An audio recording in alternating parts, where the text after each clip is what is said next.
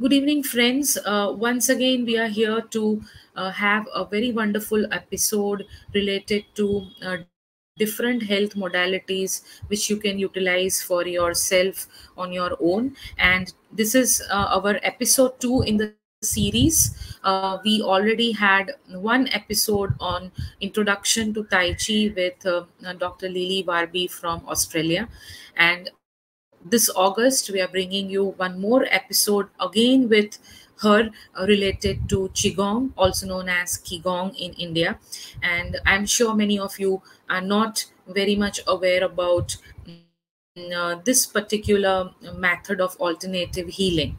So, uh, our purpose of starting the series is to make people aware that there are a lot of uh, self help uh, modalities and um, a lot of self healing tools available uh, which you can try learn and then later on practice for your different diseases and also for your mental health which will keep you much more better and prevent the chronic and acute diseases spread inside your body so once again I welcome you all on behalf of our Rutuja Foundation. And now is the time to welcome Dr. Lily. Hello, Dr. Lily. How are you? Good. How are you, Dr. Nahal?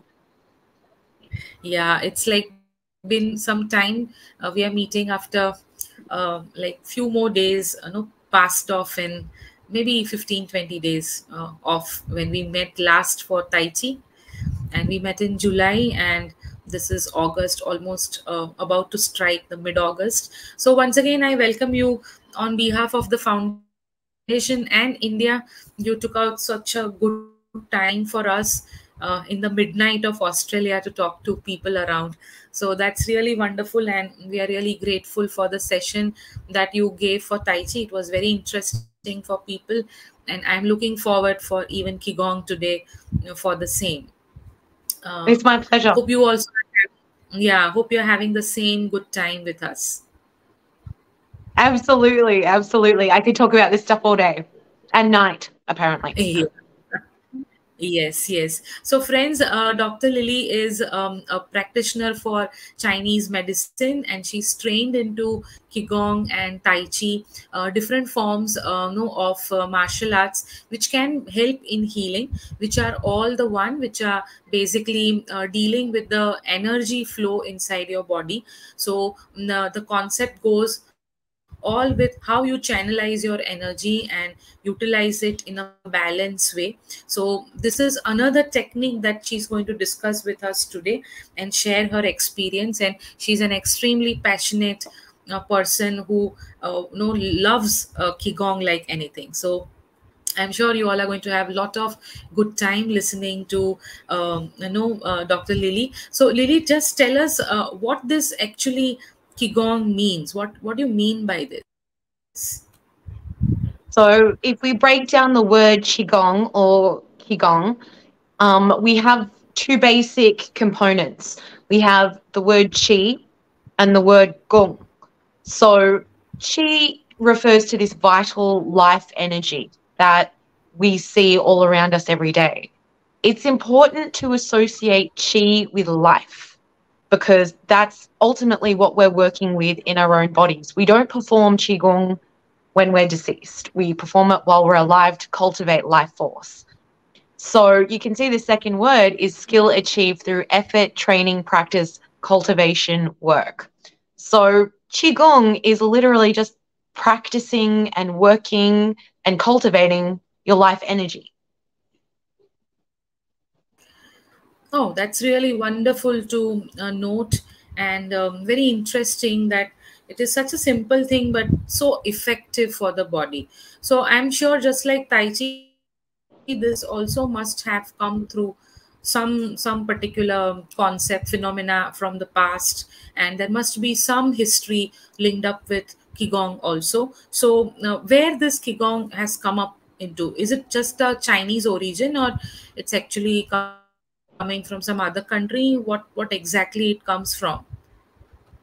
So in the earlier dynasties of China, we see before China even became China, and was a series oh. of, of broken up states before it was completely unified, we see practices like Taoism, Buddhism, Confucianism, including meditation, including breathing, including simplified movements.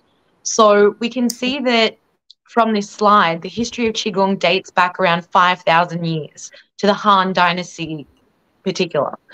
For practices including Daoyin, Yangsheng, Yangsheng, and Zuochang. So these are different types of meditations and movements of different speed, of different dynamic force, and they have all come under the umbrella of Qigong.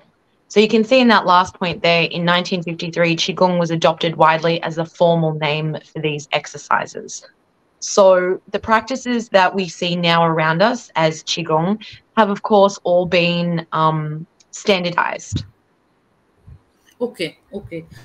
So uh, there must be some more research also onto this, and then people must have uh, written something about Qigong, uh, you know, in days to come. Absolutely. There are lots of clinical trials out there which are investigating the benefits. Yeah.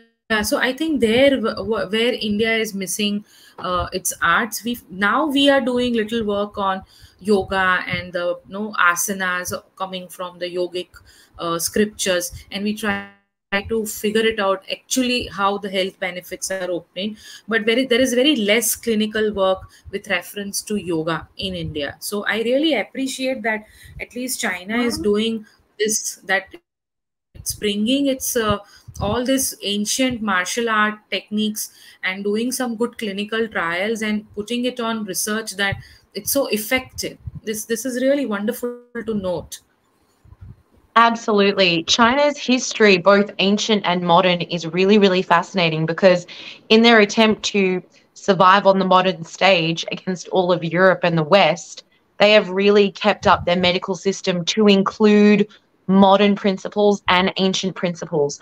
So, Qigong is something that is not unknown in hospitals in China, especially for rehabilitative services, post cancer treatment, um, looking at patients that have had heart problems or have gone through surgery using Qigong as something to help them recover in a hospital, approved by people in white coats. This is wonderful to note because here there are there are so many systems of medicine but they never come together on same platform for treatment mm-hmm. if you are going for allopathic medicine they would never encourage you to go for ayurvedic medicine if you take that they would never encourage to go for some other form so there is there are all parts they all work in parts and bits but they don't want to come together for healing of the patient that's so very I really true appreciate that.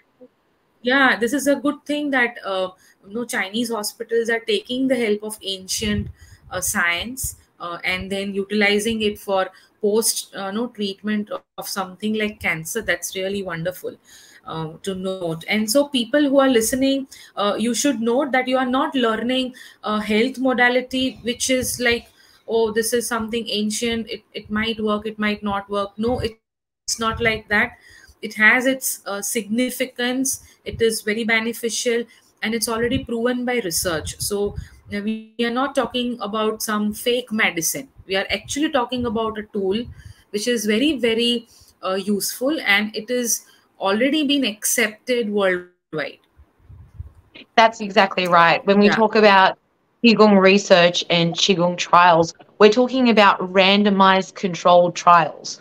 We're talking about legitimate setting of testing this kind of stuff in in different groups of people Wow, that's really wonderful to note. Even this was new to me that uh, the hospitals consider uh, you know, Qigong so important uh, tool.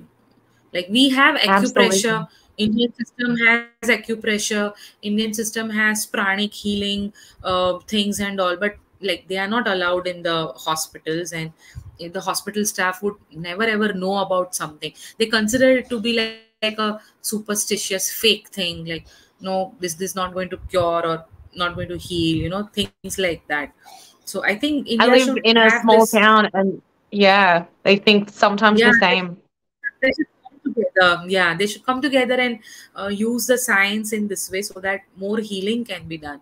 It's so good to good to know this. So, uh, on what basic principles uh, qigong works? How does it work actually? So for qigong, we have a few different principles that are laid down that the standard layperson can understand. We have principles of breathing, we have principles of the posture and form and movement itself.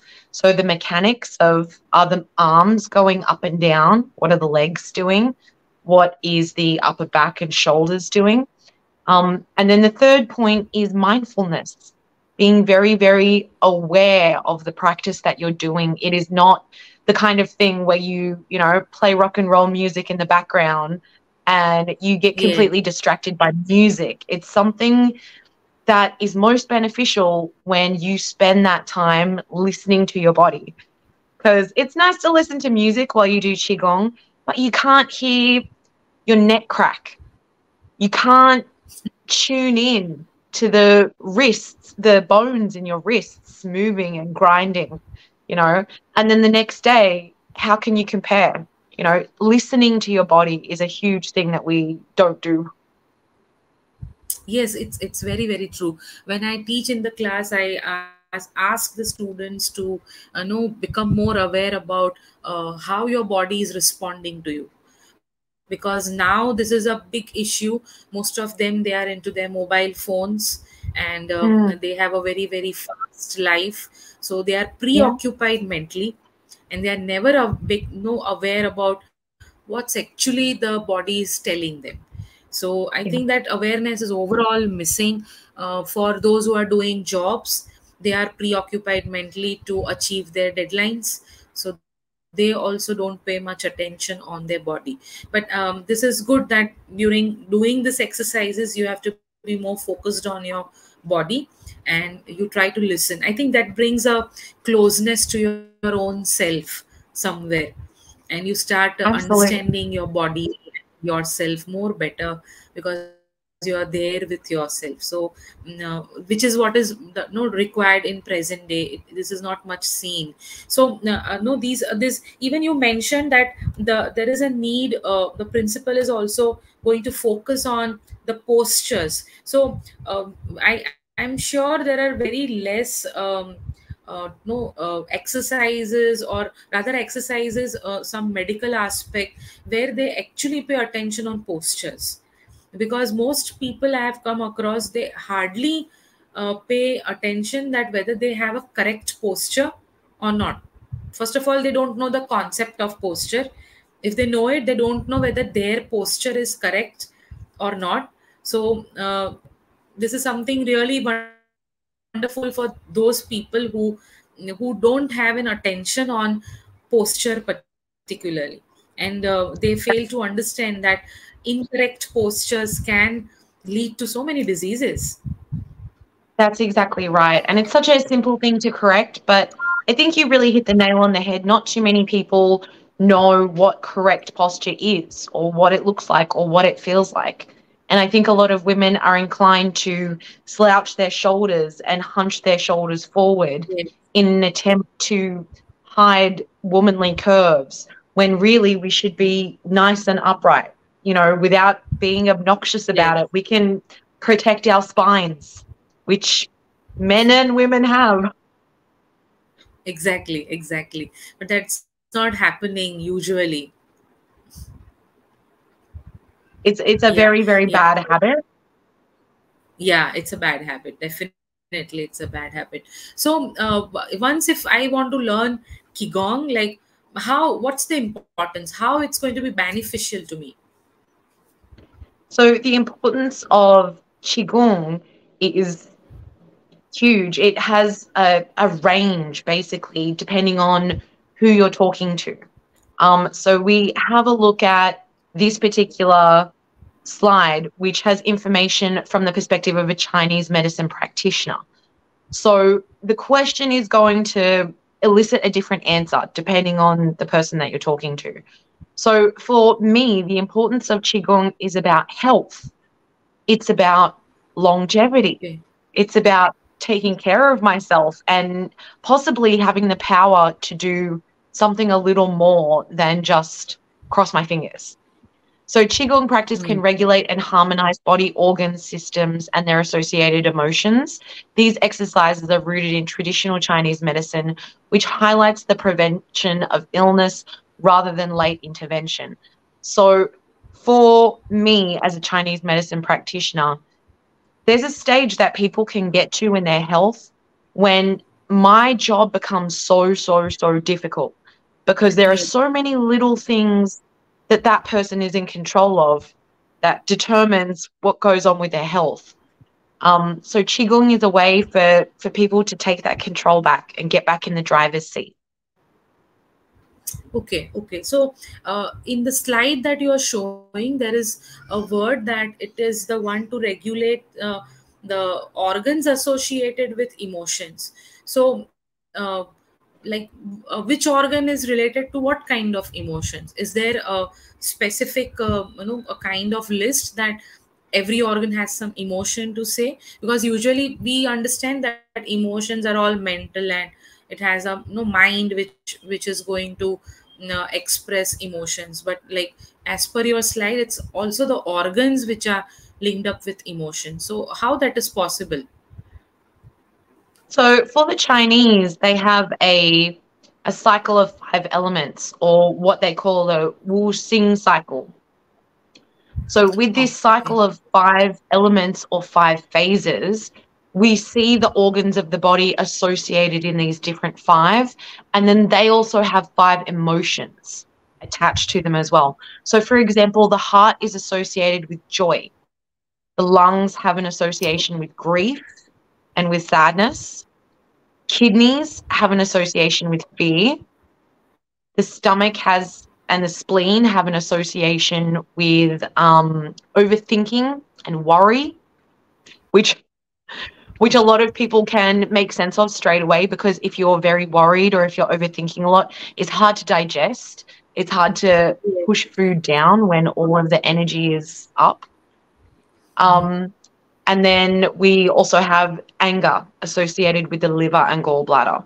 So, in this cycle of elements and organs and emotions, we have this correlation which basically says that every organ has a job to do, every emotion has a job to do.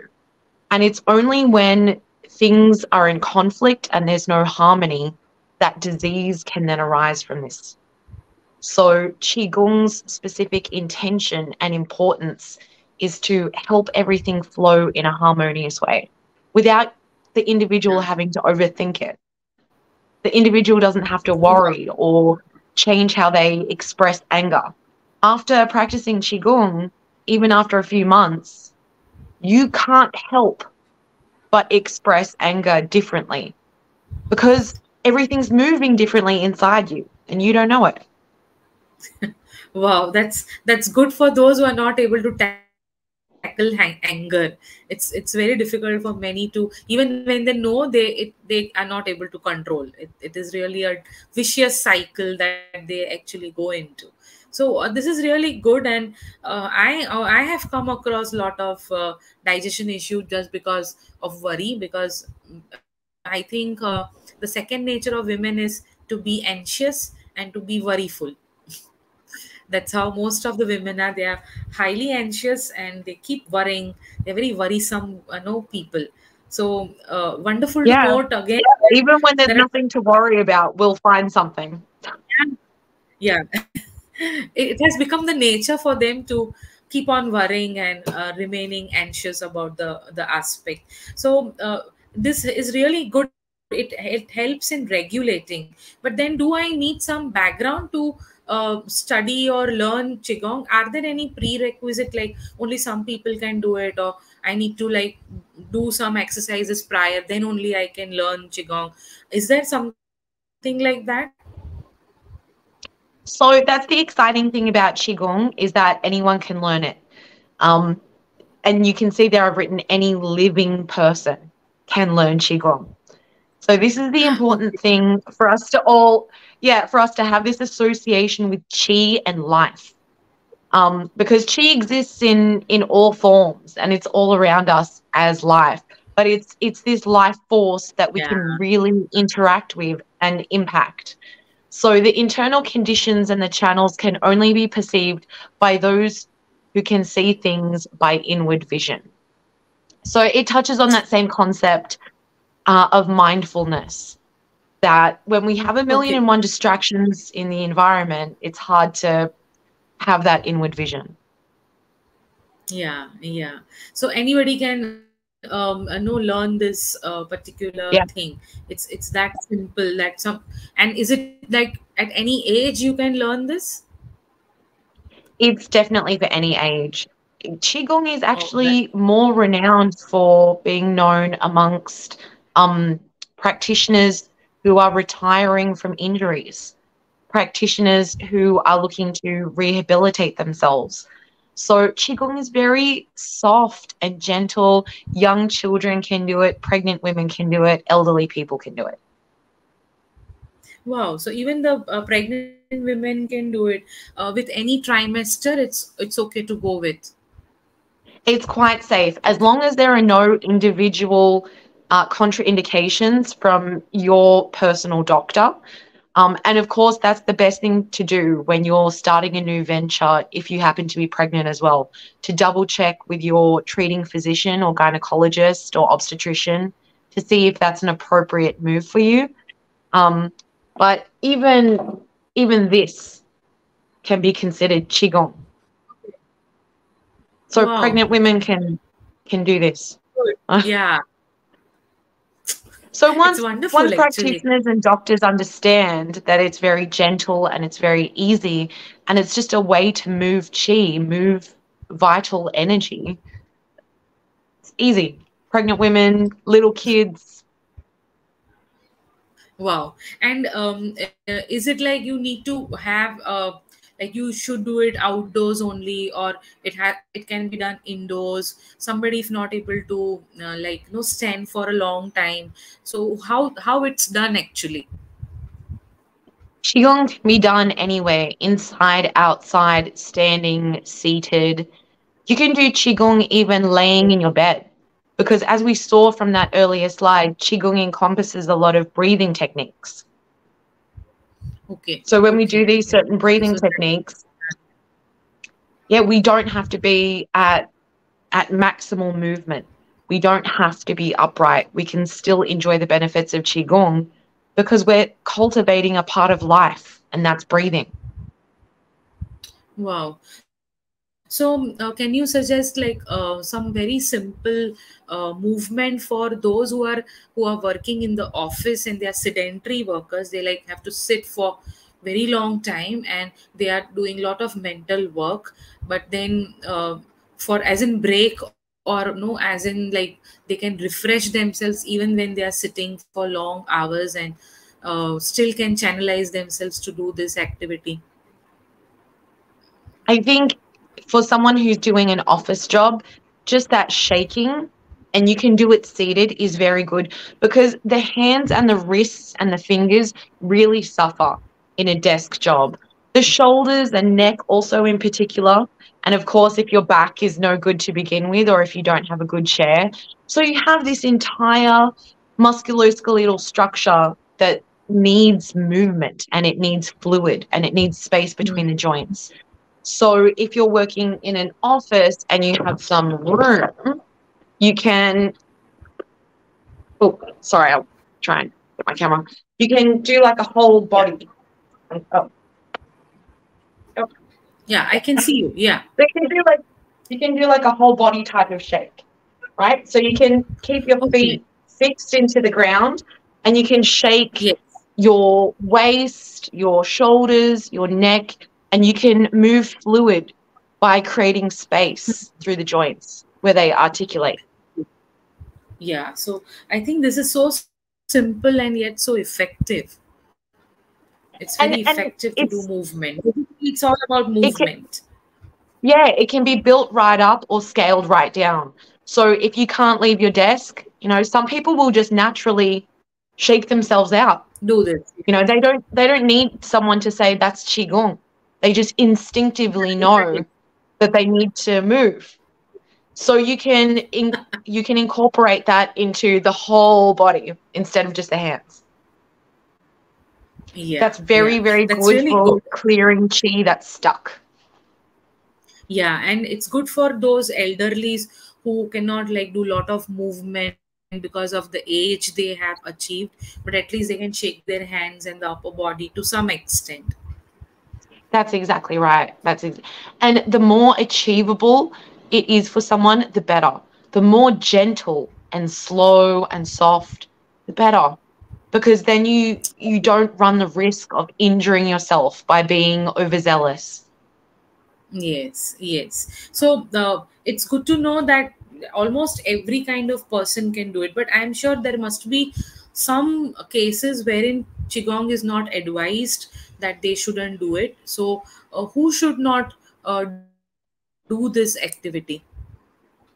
So while Qigong is for all age groups, there are certain individuals who may feel dizzy or unwell when doing long Qigong forms or long Qigong sets. Oh, sorry, just move that there. So it says Qigong is not advisable for anyone feeling immediately faint, dizzy, or unwell. However, seated Qigong is quite suitable in these rare cases. So when it comes to low blood pressure, Qigong Okay. is slowing the heart rate down and it's lowering blood pressure. So, for people whose blood pressure is already very, very low, they might feel faint, they might feel dizzy. So, it's a good mm-hmm. time for them to do the seated Qigong and then they can just move their upper body slowly and then there's no risk of falling or fainting. Okay, so I think that also would add that uh, it's a good uh, exercise for those who are suffering from hypertension because it's reducing the blood pressure down. So I this is uh, really good that simple exercises you don't have to pop up the medicine at least. It's so much of medicine going for high blood pressure. At least in India, we have like it's so common. Uh, every third person has a high blood pressure so it's very very common disease and in fact it's no more considered to be disease it's so common in india Well, if you if you think about the term high pressure, that's exactly kind of the world that we live in. It's it's a high Yeah. pressure world. So it makes sense that everyone has high blood pressure. yes yes Everyone's ooh, under lots of pressure.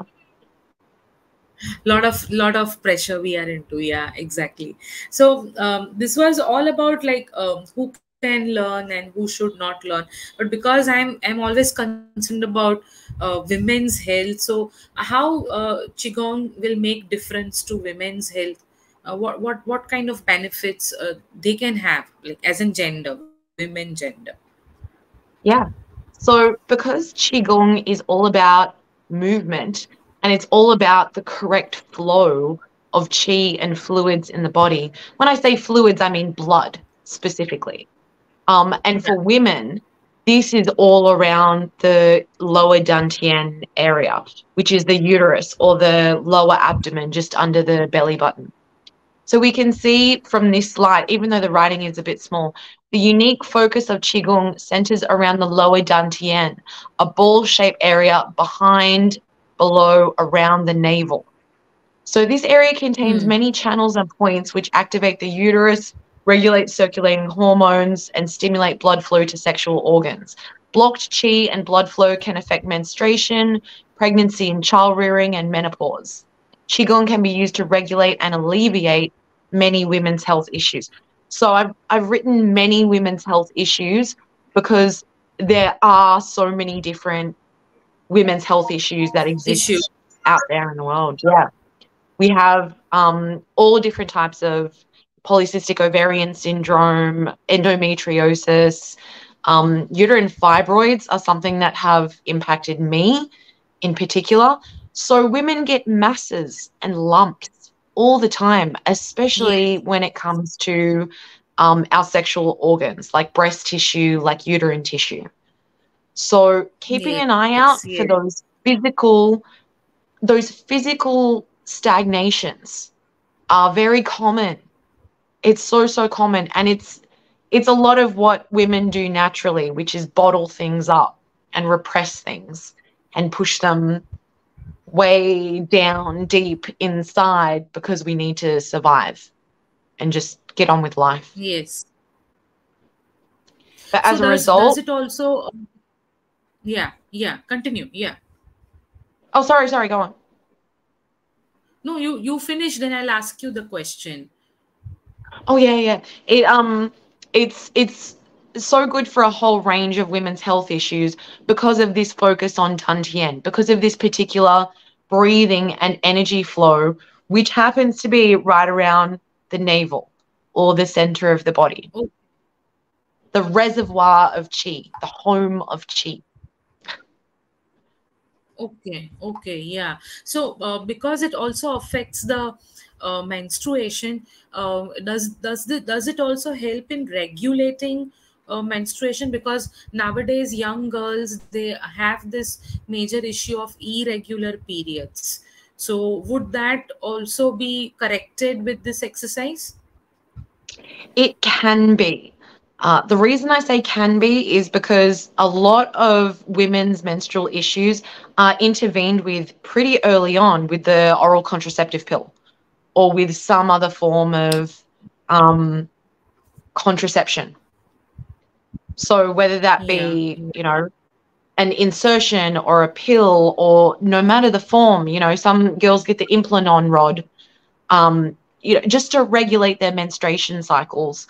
I think depending on how long you've Mm. been exposed to those kind of chemicals and pharmaceutical interventions, that's what you're looking at weighing qigong against.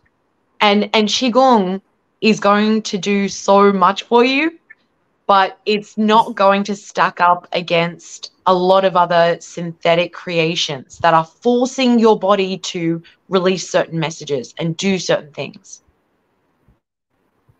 Yes, yes. So, um, uh, would you suggest, like, uh, also because mostly women come across whether it is uh, related to menstrual aspect or menopause aspect or postpartum blues because of pregnancy, they usually have one issue that is mood change. They come across a lot of mood swings going up and down. So, does that kind of emotional trouble um, be corrected if they learn uh, Qigong? Yes. Yes, absolutely. I know from my own personal experience that it's definitely helped me a lot. I can be a very impatient and tempestuous kind of person. So it's it's definitely something that helps train you little by little. The slow movements, you start to repeat that kind of principle and thinking in all aspects of your life. Where if you slow down your reaction time, it's a little bit easier to catch. It's a little bit more manageable from from your end, not from the receiving individual. Because of course, when we have these extreme emotions, they very rarely do damage to anyone else more than us. We're the ones that that suffer so much from these big uproars of emotion. So qigong is very good for slowing things down and settling that process and harmonizing it. Wow, that's really great because there's no medicine to cure this mood swing issue. And it's one of the most common problems for women all around the world. And uh, it's a it's actually suffered by women, but felt by everybody around her because all people including her kids husband family members everybody know they have the reflection of what her mood swing is uh, undergoing what kind of change she's undergoing. So they all have to suffer if she's in bad mood and uh, you know n- nothing can be done about it. So this is really good that simple exercises can correct uh, this problem of mood swing and reduce uh, that problem and she can work so nicely. So that leads leads me to another question that if it can correct mood swing does it also have a role to play on the emotional aspects of our our body? Or like as in person uh, can qigong also bring some emotional wellness? Qigong is very transformative. Um, and it's very, very popular in um, different mental health regulation plans. So, using things like. Qigong and using things like breathing will help establish this emotional well being. So, you can see that Qigong encourages inner reflection and meditation.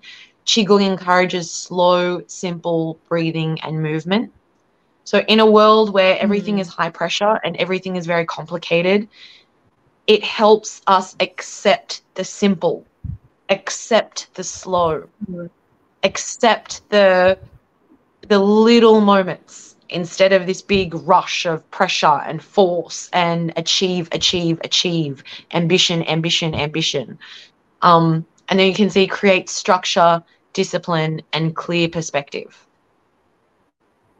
Hmm. hmm. Wow. So it does have so much of role to play um, such simple exercises so i can just not wait uh, can you demonstrate something uh, with qigong for maybe um, anger control and maybe some mental detox uh, so so that at least we can practice those things and then further you know uh, go in the detail of the qigong for learning it Absolutely. So the most common qigong form um, for anger control comes out of one of my favorite sets, which is known as Baduan Jin. Baduan Jin is eight movements. So the name Baduan Jin actually means eight silk brocades or eight pieces of silk or eight treasures. The idea just references eight things that are precious or very valuable. So the Chinese use Baduan Jin as like the Swiss army knife of Qigong. If you want to work all the meridians in the body, all the points in the body, you don't have much time, Baduan Jin. wow. So that way so you are you actually showing the key, yeah yeah yeah. Yeah so you're showing the key movement which is so important Uh, going it's, it's going to be a treasure for all yeah? Yeah, I'll show number seven um, of of the moves, Okay. which is designed for uh, the liver and for anger. okay So I'll just try and get my camera. right. yeah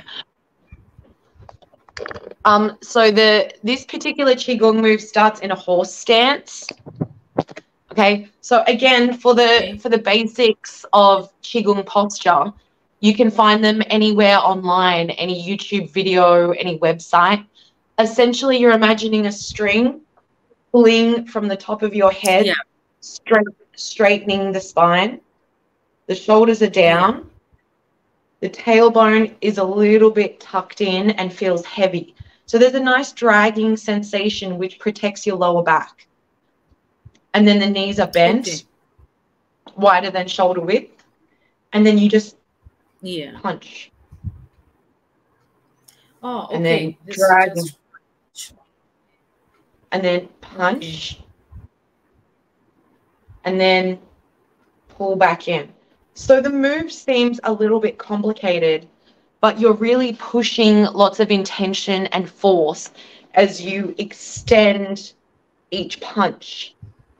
And the move is called punch Okay. and glare.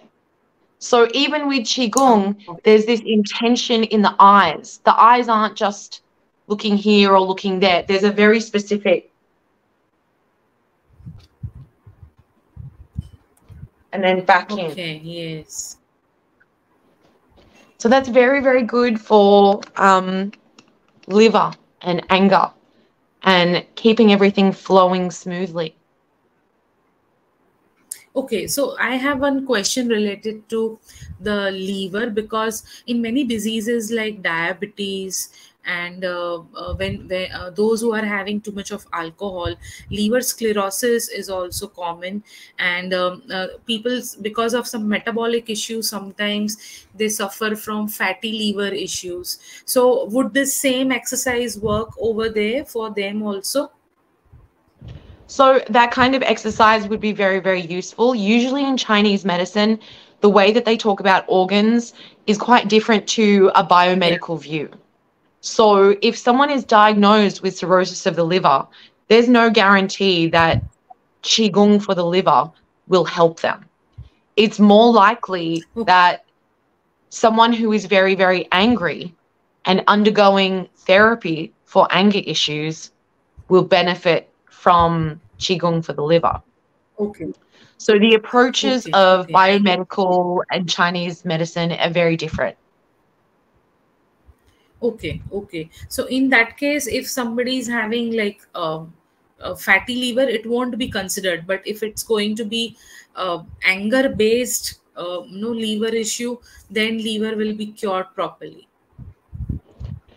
Exactly, exactly. With cirrhosis of the liver, there's usually a very specific disease pathway um, and, and a different breakdown of tissue. So, Qigong can absolutely reverse that process depending on what stage it's in. But again, that's a very, very tenuous thing to say to someone. You can't just say to someone, oh, there's a cure for this or there's a cure for that. You know, a lot of doctors Yes, don't like that but there are many, many research articles which say that doing overall Qigong is good for the liver. Doing overall Qigong is good for reducing inflammation. Overall Qigong is good for promoting circulation. And all of those things would help in a diagnosis like liver cirrhosis. Wow. Yeah. So I I get your point that because uh, many people would then just stop taking medicines or create more complication. Uh, it's it's not advised to label it that it doesn't cure, but that doesn't mean it cannot cure. It can cure if practiced Exactly. in a proper way, discipline. Yeah, then Exactly. it can surely be. Yeah, so uh, such simple punch exercise and it's and the movements are really gentle. So I don't think so. Anybody doing Qigong gets fatigued or tired. Well, you can absolutely as you push more into it and you try and see, you know, the the boundaries of your flexibility. But the good thing is if you're having a bad day or if you're feeling sore or tight, you can minimize it or you can maximize it. It's something that is simple enough to change to your mobility range, to your comfort. Yeah, wonderful. So, uh, uh, what should we do for the mental detox?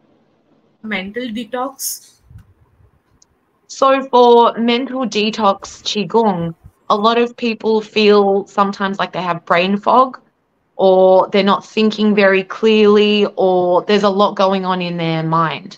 So again, I think that's a pretty common um, bit of feedback from 21st century westernized living. People are in their heads a lot and they're overthinking a lot. Yeah. So this qigong move, you can shake your hands a little bit and then and all you're doing is tracing like an imaginary field over your head. So when you breathe in, you imagine fresh energy. Yeah? Like combing your hair and washing your face.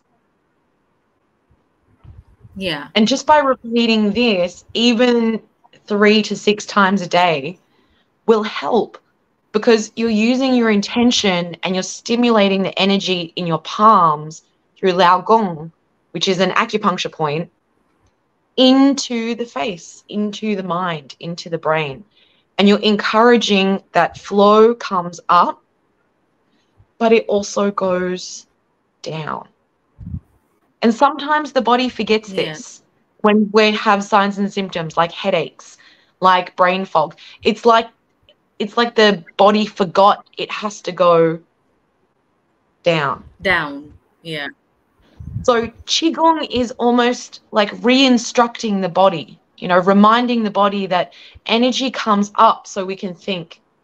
But then energy has to come down so we can rest. And then back up Yes. and then back down. Just like in the morning, the sun comes up, and then at night, the sun goes down. So if nature knows that, how much more for us? yeah it's it's like actually the it is so the life is so simple but we have made it unnecessarily complicated so Yes. i think uh, qigong also teaches us that uh, you go back to the simplicity and uh, your so many problems get cured just by following the simple rules of nature so uh, this is so like so simple yet it's a reminder that you cannot always remain in the head in the up position you need to calm down also. You know come to a normal resting stage also. So uh, uh, wonderful to note uh, lily that you, you explain so you make make explanation so simplified and lucid that all those who just don't know anything about energy i'm sure they are going to pick up uh, today's session so well. And i'm sure we'll have more people uh, learning qigong now after they uh, know have gone through this wonderful session. And i look forward for more of your sessions. I'm waiting for you to give us one more session on acupuncture whenever you're free from your patient and treatment and all. And um, hopefully that time you can tell us more about chinese acupuncture theories and you know how it works. Because many people also doubt uh, acupressure and acupuncture. They are not into these systems. You know particularly in india there is a lot of superstition and uh, skepticism related to alternative medicines. So uh, because there are lots this kind of ancient medicines available but also there are people who don't don't practice it with that purity and that principles taking forward. They also do mixed practice. Sometimes malified practices are there so people get confused and then there's a bad name given to the ancient techniques actually they are really good if they are practiced in the correct way and that is That's the it. motive of our uh, yeah and that that is what we want to bring forth through this series of episodes sharing different kind of uh, techniques to people that there is lots which can help you uh, without going to a doctor if you are doing it on a regular basis in under disciplined form and you're consistent to try for your good health support is available you know around you so That's exactly yeah right. so Yeah. on that note yeah so uh, any more um, tips or suggestions from your side as in last uh, you know key key points to carry back home for our viewers Yeah, the important thing to remember about Qigong is that if you are alive, you can do it. You can do it. that's that's the good thing about Qigong. It reminds us that we're alive. It reminds us that there is something special happening that gives us this reaction. And and I can do this. And I can do that. And and that isn't a miracle to us anymore. So if people are out there watching, that's all I hope they can really see Qigong for. That it's a reminder that being alive is a miracle. yes yes A lucky very one. Yeah. true you we are lucky that we are alive exactly exactly so uh, i'm sure they'll carry back this message home and they'll realize that there is more to life uh, rather than just earning money and ma- making a big house or something there's lots more in life uh, which has to be appreciated. So and on that note uh, see you soon for the next episode okay? I'm waiting for your dates for acupuncture episode to come in and um, uh, we are so glad that uh, in, in the midnight in australia you are here to share such a passionate talk on qigong and looking forward for more uh, from your side so thank you so much uh, lily uh, see you soon in the next episode thank you so much we'll end up the episode here itself uh, goodbye and good night to you i hope you have a good sleep tonight thank you very much Thank you. Thank you for having me. Thank you. Bye. bye. Bye. So, friends, that was Dr. Lily with us in the second episode related to health modalities uh, with respect to uh, you know uh, qigong and tai chi and all so this these episodes we are bringing to you for uh, your benefit to help you understand that there are a lot of this kind of um, uh, no episodes available uh, which will be offering you to youth in the form of some of the other concepts coming on your floor. Like we are planning to have a discussion on different meditation techniques. We are also planning to have some other energy based concepts like the reiki techniques and pranic healing and uh, crystal uh, healing and um, also uh, different meditation techniques like what is heartfulness meditation what is vipassana meditation what is mindfulness uh, meditation. So such kind of uh, different um, uh, no alternative uh, healing techniques will be introduced to you through this different episodes coming up on your way. If you are enjoying uh, and liking the episodes kindly follow us on our instagram uh, rutuja underscore women or uh, be a part of our facebook uh, no friends follower list that is rutuja shah. We are also available on linkedin and our website is www www.rutuja.org and do not fail to subscribe our youtube channel rutuja. Like comment share and subscribe. Thank you so much for your patient listening. See you all soon in another episode to come. Thank you all. Have a nice time